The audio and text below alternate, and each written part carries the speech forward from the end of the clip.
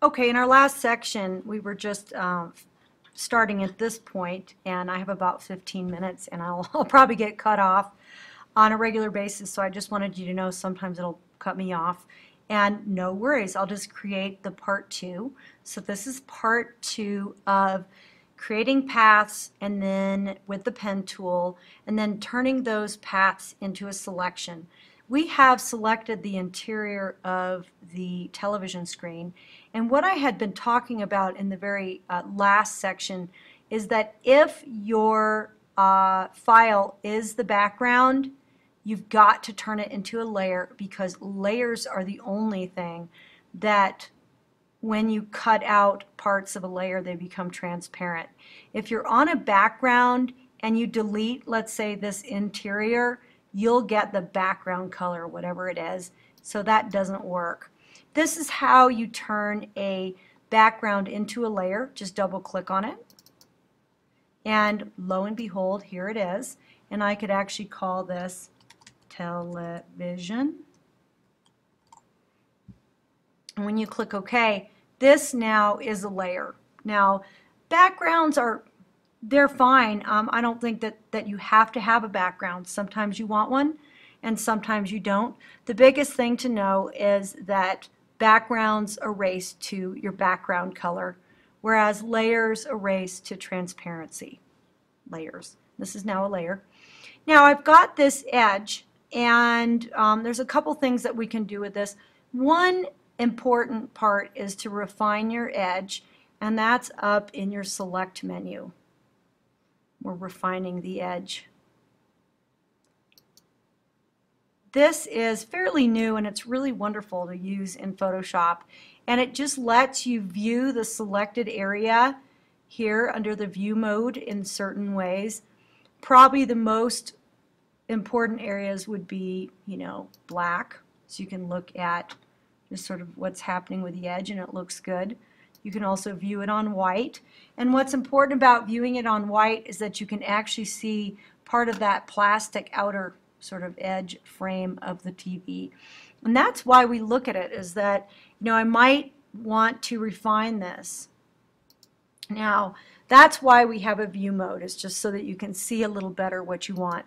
And on black or on white are important. Um, the rest of these, you know, the first one gives you the marching ants again, which we already had. And the overlay, uh, this simulates something in, in silkscreen where you can actually still see the background area and that can be really helpful to make sure you like your edges. And this red rubylith um, just represents that outer region on black, on white, on layers, and so on. So just, just ways to see what you've got. And I like it looking at it because this black plastic is what I care about. Why, you know, I may not want that there. Now, the next section we'll get into, I'm going to wait. That's better done with furry objects like cats, um, hair, clouds, waterfalls, which I'm going to do in the next portion. So let's wait on that.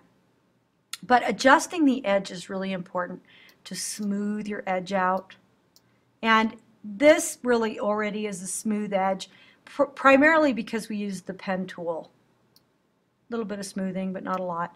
Feather is important, and feathering just softens your edge so it doesn't look like you cut the shape out with scissors.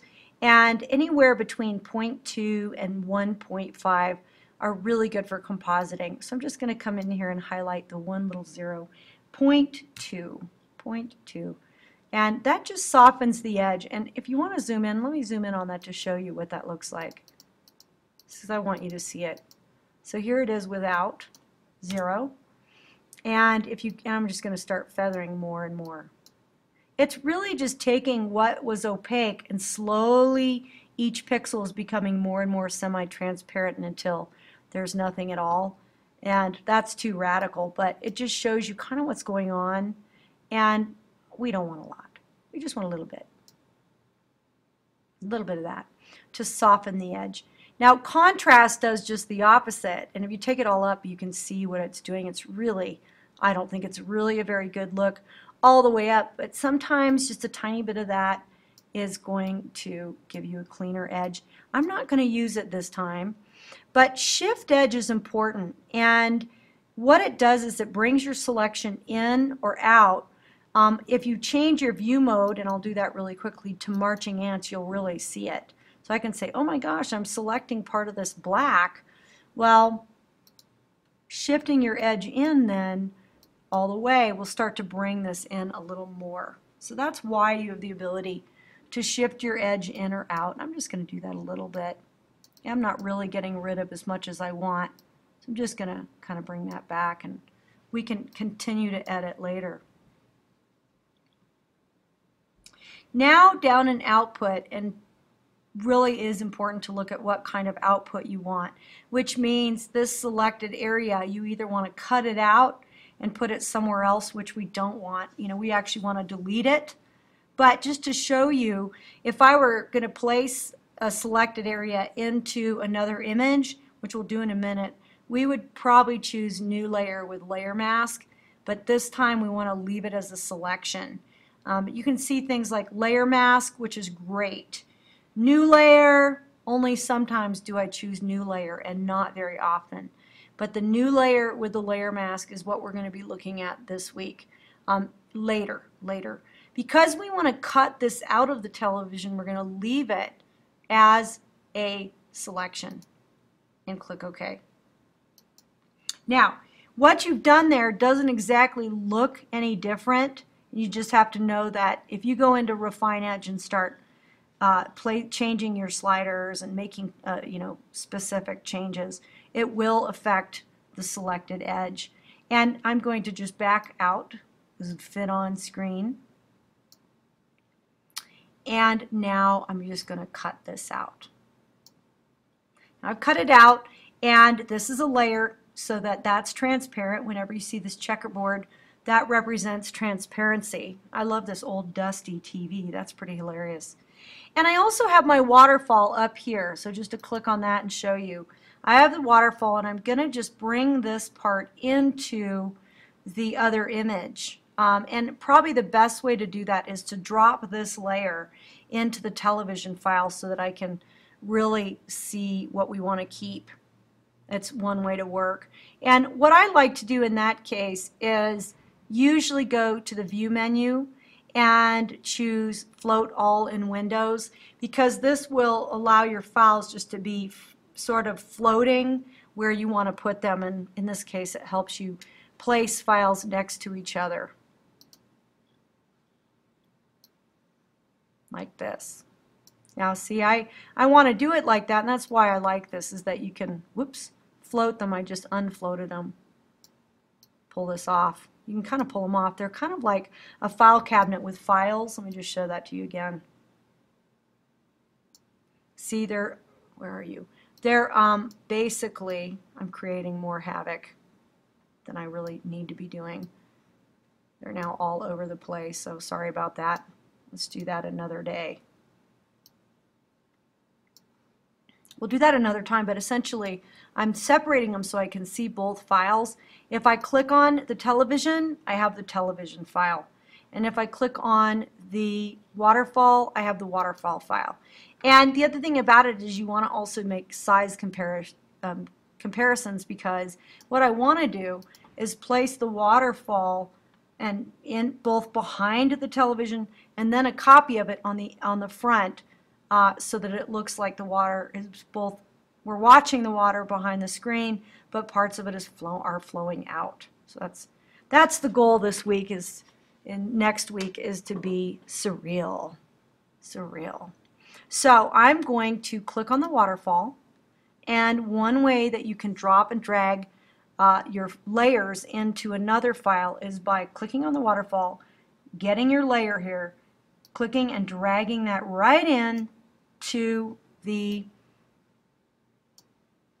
file with the TV. And it looks a little funny here because it's in front like a picture covering the TV. So that's why over here we're going to actually drag it down behind your TV like that.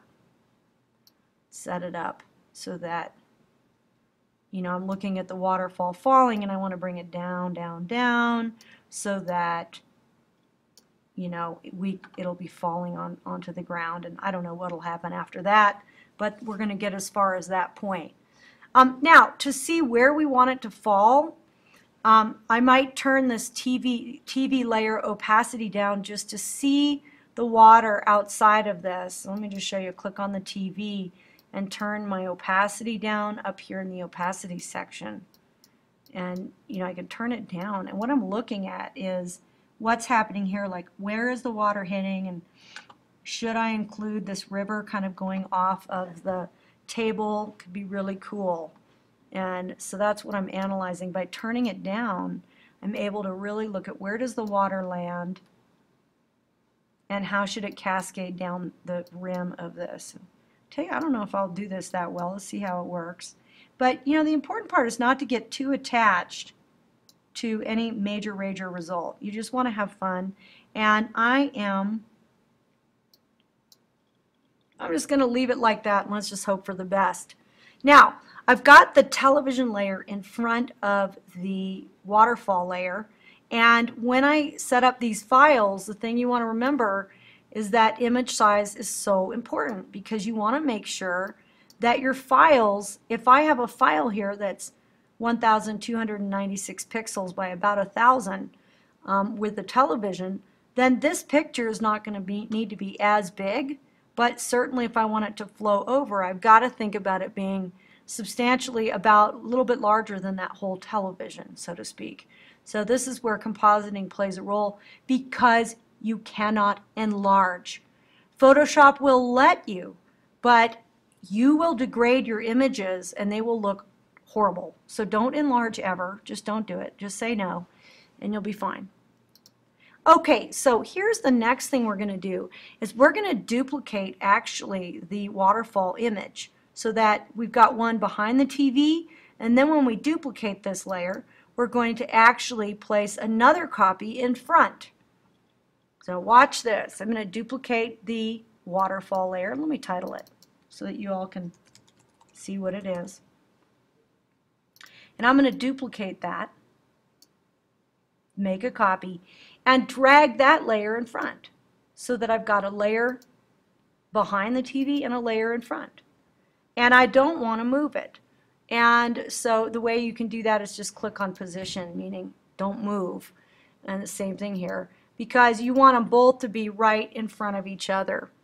Now, I need to, well, we're going to go ahead and um, select out this part of the image. I'm going to just back out a little, zoom out a little, so we can see the bottom, where it ends. And I'm I, you could use your pen tool, and we'll come back to it, but in this next section, you can use a variety of your tools. And this is really one where I would probably either use my pen tool or because of time, you could use your lasso. Um, in this case, with this sort of ethereal water, uh, you don't have to be as exact in precise, you know, uh, uh, selecting. You know, the pen tool will make the path the path will turn into a selection. So I do want to see you use a combination of your pen tool and your, your um, selections, and we'll do more of these. So I'm going to come in and just select the waterfall and the little bit of this river because it's going to dribble off the table, so to speak. Come on. Kind of get that and this little chunk will be on top of the other so only where it goes outside of the television screen is it really going to probably pay, play a large role and we'll just see how it looks and I'm on that top copy. It's important to be aware of what copy you're on. And I've only locked the positioning so I can do other work to it. And now and by the way we could have used our pen tool. We're going to do a few more examples later of the pen tool. And I'm going to go back to this time to refine edge on just the waterfall in this portion.